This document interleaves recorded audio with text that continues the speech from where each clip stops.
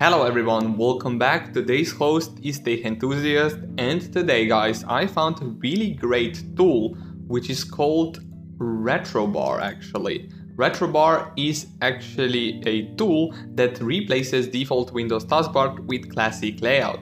It also has native notification area, native task list with UWP app support, start button opens modern start menu, ability to show or hide the clock, Team support and also has several themes included. It's made by Sam Johnson and Joe on GitHub. And this tool actually replaces the current taskbar. Maybe you are using uh, Windows 7, maybe 8, maybe even 10. And as you can see right now, I'm currently running Windows 11 and it replaces the default Windows uh, taskbar with uh, Windows XP 1. So let's go straight to the releases right here.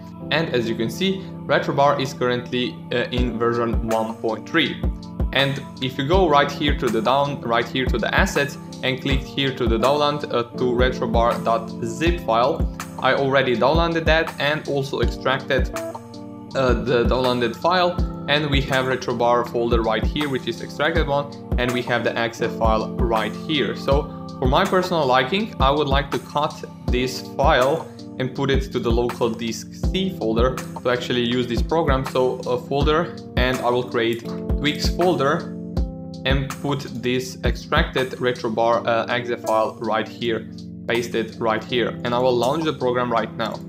And as you can see, you have the protect, protected computer uh, warning. Actually, Microsoft Defender Smart Screen uh, prevented uh, an uncategorized app from starting.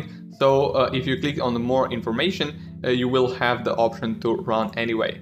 And as you can see, the program actually needs a net core to work. So if I will click right here, yes, to download it now, uh, it should open the, their web, web page to download the Netcore 3.1 and I will choose the run, run desktop apps to actually work with this app. So download uh, a 64-bit version of the Netcore.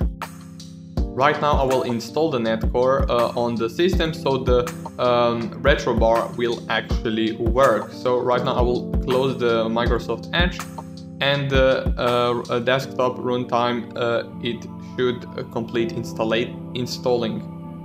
And when that is done I will just uh, simply reopen the retrobar again. And as you can see the retrobar is currently running but it looks a bit weird. As you can see uh, it doesn't look right if I click on the left on the start menu and the the centered uh, start uh, start button uh, pops up. So to fix that, we will go to the settings uh, of the Windows 11, uh, go to the personalization, go to the go to the taskbar,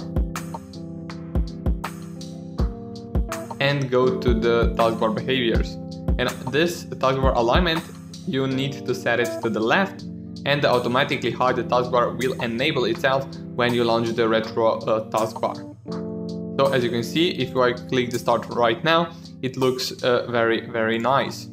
Right now I will show you uh, uh some other things of the retro bar. So if I go to the uh, properties right here, you have the retro bar properties. For example, uh, you can set it to automatically start at logon. So when you start the Windows computer, uh, uh, it will automatically start with the Windows and you won't actually see the Windows 11 uh, uh taskbar anymore. You also have uh, allowfont uh, some themes. For example, you have the system theme.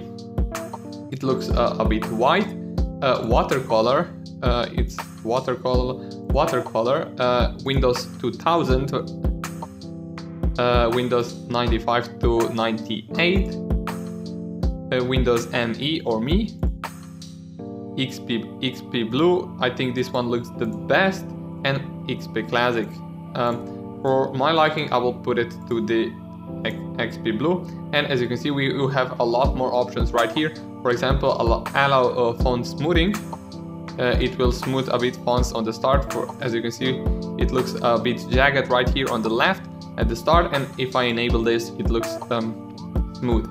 So collapse notification area icons, you have the notifications right here. If I check this option right here, you have uh, the this arrow right here to collapse or not to collapse notification area.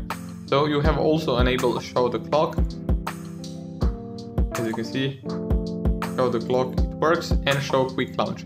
So quick launch is the, these icons right here on the bottom left with the start, for example, uh, right here. And uh, it uses the pinned apps, but you can also select uh, a different location for that. So right now, if you I select right here the file explorer, it should pop up and as you can see, it looks very, very nice. Also the animations work very, very nice. So for example, if I click on, on the left here on the windows, you have the calendar, but right now it actually doesn't work anymore. Uh, because if I uh, double left click on the, this uh, clock right here, uh, it opens up the date and time settings. So another great tool that works very well with this program is called OpenShell, which will actually replace our current Windows 11 uh, start menu with the Windows XP one. So right now if I go to the releases and I will just download the periodic update, I know this is the beta but you can also use the latest one. So open the shell setup right here, I will download this uh, file and install it on the this computer right now so OpenShell, if I launch it right here, as you can see, we have the replace start button. You can change the start button look, for example, but you can also change the styles for the start menu. For example, you have the classic style. Uh, if I open up the classic style, it looks like that. Uh, if I have the classic two with two columns, it looks like that. And if I have uh, Windows 7 style, it looks like that. So for example, I will put it to the to the classic style. Uh, it looks very very nice right now. Uh, and of course you have some basic settings, skin and also taskbar settings right here. So to complete uh, this Windows XP look on your Windows 11, um, maybe you can try downloading uh, official or let's say uh, uh, Windows XP wallpaper. So if I download the wallpaper right now, save it, uh, open, it, open it and set it as background.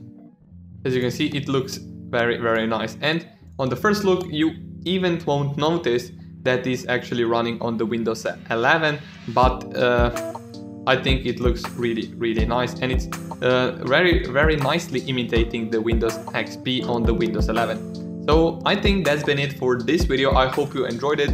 Um, maybe consider subscribing like this video and comment down below if you actually tried Retro Taskbar and open shell. So with that being said, thank you again for watching this video um, and I see you guys in the next one. Peace.